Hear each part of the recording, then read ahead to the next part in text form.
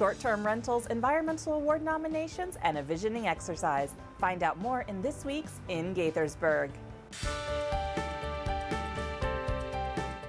The city is seeking feedback on short-term rentals, the renting out of furnished homes, apartments, or condos on a weekly or nightly basis. How might such rentals impact your quality of life? Let us know by filling out an online survey by February 25th. Is your community, youth group, or business doing something that helps our environment? Or maybe you're doing something on your own that deserves recognition. Gaithersburg's Environmental Affairs Committee is seeking nominations for the 2019 Environmental Awards. The deadline to apply is March 5th. Awards will be presented at a special ceremony on April 1st during Gaithersburg's Green Month.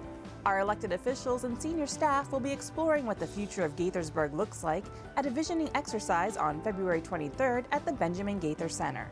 They'll be reviewing existing and projected demographic and economic factors.